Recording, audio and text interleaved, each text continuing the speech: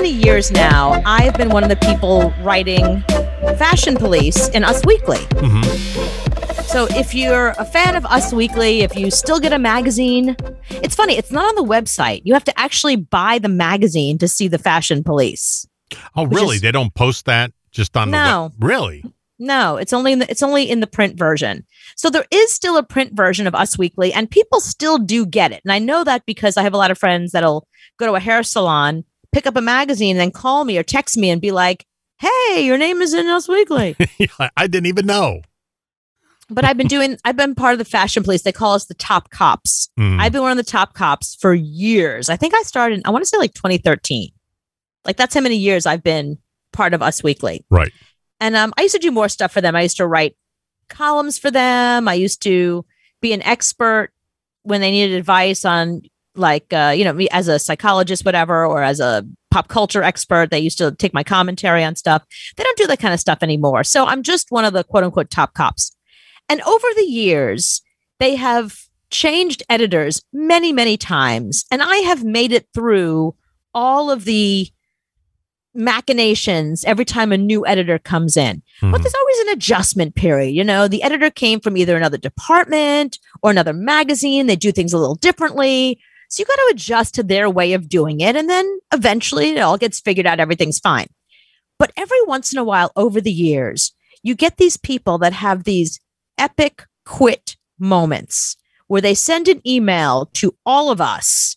And it's always something like, fuck this, fuck you, screw you. I've been writing for free. I'm not putting up with your bullshit anymore. It's always some takedown, like epic quit kind of thing, Mhm. which is funny because we don't get paid to be there. So quitting something you're not getting paid for, all you have to do is when they send you the email, just hit delete. Mhm. Don't respond. You don't have to quit. Yeah, you don't have to quit. No one's no one's sitting there counting your paycheck or wondering, you know, why. Oh, we haven't heard from Cooper yet. Mhm. Literally, nobody. we're on a deadline. Where is she? Get her on Right. the phone. you'll get what'll happen is you'll get an email like a couple hours before the deadline. They'll say, "Hey, I have I still haven't heard from some of you guys. Can you get your jokes into me by?" And they'll give you a time. Mhm. But you know me, I'm an A student. As soon as I get the email, I send the jokes back immediately. I already sent mine out. It's not due till tomorrow at four. Mhm. I've already sent mine out. I'm done. You know, that, that's just how I go about doing things. So there's a new guy there now who came from another department. He's never done this before and no one trained him. And when he first started sending us the thing, what they usually do is they send us the pictures one of three ways. Either through Snapfish, that's how we did it for a long time. We'd go to Snapfish, they gave us a code, you'd put it in, and the pictures would come up, and then Mhm. you would make your jokes. Or they would send you little JPEGs of the people we're making fun of in a in the body of an email. Mhm. Um, or there was another like email platform, like another kind of like um, Snapfish kind of thing. I forget what it was called, but it was like another one of those. So this new guy hasn't quite figured that out yet. And what he's sending us to is links that are on the Getty page that we have to then figure out which ones are the celebrities, which picture they're using of the celebrities, because there's like four different pictures, um, and who the celebrity is. Because Mhm. there was one where there was somebody that was fully masked up and there was no name underneath it. you don't even know who it is. But it was like the person was wearing glasses, like this weird hat, a mask, and then like a cape. So I just did a reverse lookup on the, you know, I figured out myself, and it turned Right. out it was like some, it was some YouTuber that I like some YouTube star that I would have never. It wasn't like it was Angelina Jolie that I was like, oh, there's Angelina. Mhm. It was some YouTube star whose name I had to look up. It was a whole thing.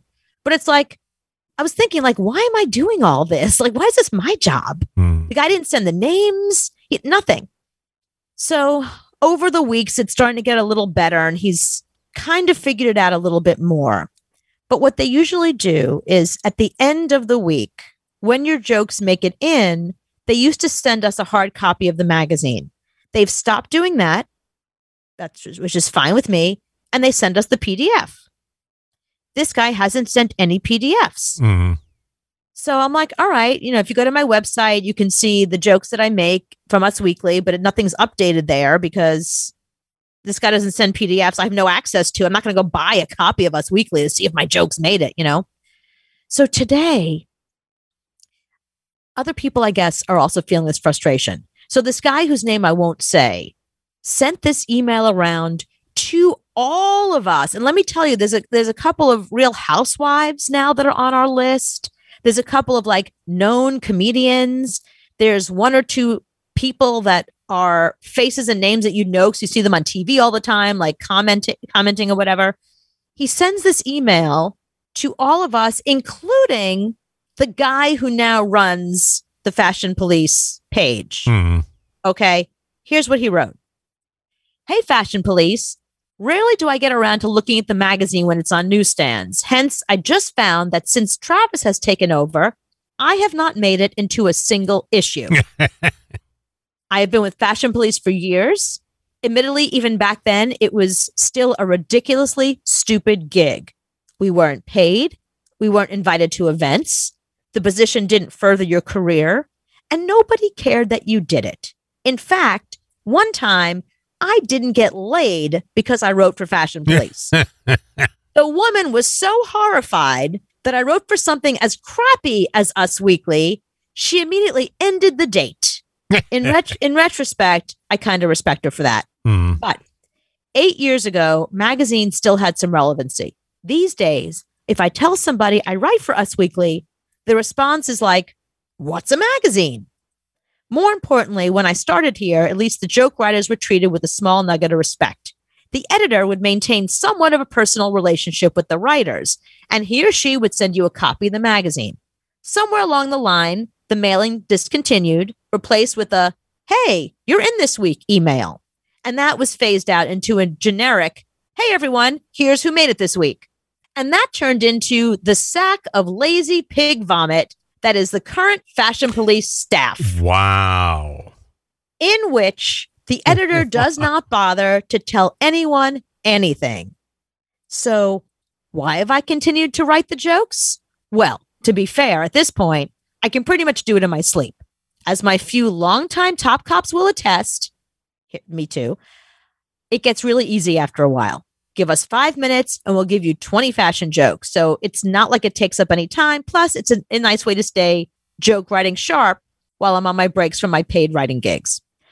That Travis, and by the way, Travis is a new editor and he's on this email. Right. That Travis was so incompetent during his first week as editor. And you know what? It's not entirely his fault. After all, this is Us Weekly. Presumably, there is no training, guidance, or instruction. You write I'm- jokes. I'm picturing an office of distracted, bored, dead inside 20 somethings on their phones, swiping on dating apps, browsing the internet for a better job, hoping maybe this is the day Kanye stops by the building, while occasionally regurgitating an episode of 90 Day Fiancé to pass off as an article in order to meet their deadline. I suspect nobody told Travis what to do. So during Travis's first week, along with my joke submissions, I offered some advice. Hey, put a name to the photographs. Use one picture for each celebrity. Hey, the photographs need to be bigger. Travis thanked me, and the following week, Travis completely ignored my words. Instead, Travis's second week as editor was the exact same. He took none of my instructions. I was a bit annoyed, and I wrote, once again, when you send out an assignment, you must dot dot dot. Was I being unreasonable? Well, Travis must have taken this personally because he has never allowed a single one of my jokes into the magazine. BT and AT, before Travis and after Travis. Wow. Before Travis, I was in the magazine every week, usually with multiple jokes. After Travis, I have not had a single joke published. Either I suddenly stopped being funny Mhm. or Travis is a vindictive, petty asshole, or maybe both. Wow. So I bid adieu to the fashion police. It was fun. And to be fair to Travis, it was time for me to leave anyway. One cannot move forward while at the same time clinging to the past. I wish you all well. It was super fantastic getting to know some of you personally. By the way, nobody got to know me personally. Um, I'm in the process of deactivating most of my social media sites, but I will always keep my Facebook. Should any of you send me a friend request, of course, I will accept. Stay funny. And then he signed his name, but I'm not going to embarrass him further by telling you who it is. Wow. He was butthurt. I mean, Wow. is that an overreaction or what? You think? There's, there's a reason why you were calling this guy saying you're not doing your job right. It's like, guys, like, send that dude to voicemail. I, I, I, No, it wasn't. No, he wasn't calling. He was emailing him. oh, God. He wasn't calling him. He was emailing. We don't have their numbers. He was emailing him and saying, "Here are my jokes." And listen, by the way, when you send them, you might want to send the names. You might want to do this. Why don't you Mm. try that? So wow. Poor guy just got a job and here's people yelling at him in email. He's like, I don't know what I'm doing. Just got a job. Well, here's what I think. I don't think Travis got a job. I think Travis has been there for a while. He does other things. I, of course, as soon as I saw his name, the first thing I did was go to Instagram and I found him. He has a lot of followers on Instagram. He has a lot of followers on Twitter, um, on TikTok. Like Travis is a fucking player. He's a, Hmm. he's a dude. And my guess is he's probably one of their favorite people there and does other things. And they just saddled him with fashion police on top of all the other things Travis does there anyway. Mm. So I, I don't think it's the I don't think they hired him out of somewhere else and now he's stuck. Now this is his only job. I think Travis is very busy and I think Travis has a lot of things going on and this is not his main this is, he didn't come to us weekly to be the editor of Fashion Police. I Mm. think they saddled him with this and he's doing the best he can. And the girl that left was unce- unceremoniously fired. So because she was abruptly fired and there was no smooth transition, like our last girl, they gave her um, a raise, they gave her a promotion. So she trained the new the new chick. Here's what we do and here's how we do it. She introduced all of us. This last girl out of nowhere gets an email and says, I don't work here anymore. Thanks for everything. You guys have been awesome. The new guy's name is Travis. Goodbye. Mm. So not only did she not train him, I don't even think she ever met him. She just, it was like, take your shit and get out of here. I wish Travis would respond to that email Yeah. say, if one of your jokes was half this funny as this email, I probably would have po- posted one. but that that was funnier than any joke you've ever submitted. Thank you. Have a nice life, Travis. I love how many times he had to say the name Travis in his email. Like he's so angry at Travis, like in, as if Travis is the problem. Like poor guy Travis, he's just trying to do his. The guy's just trying to do his job. Guy- you know, again, like this is just something else they they gave him to do. He has a list of shit to do, and he's like, oh, I got to do this stupid fashion police in the middle of like these twenty thousand other things I got to do here. Yeah, he's got to go to work every day for a magazine. You got to know when you walk in that door, it's like, oh, I could work at the newspaper.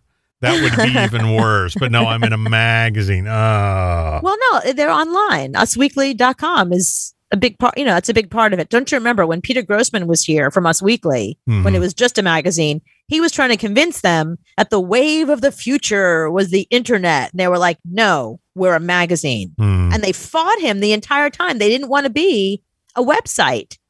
And then TMZ came and um, people.com and CNN Entertainment, and everybody was. That's why Us Weekly is not one of the go to places right now. yeah, I, because I, I, I don't think they- I've ever been to it. Of course not.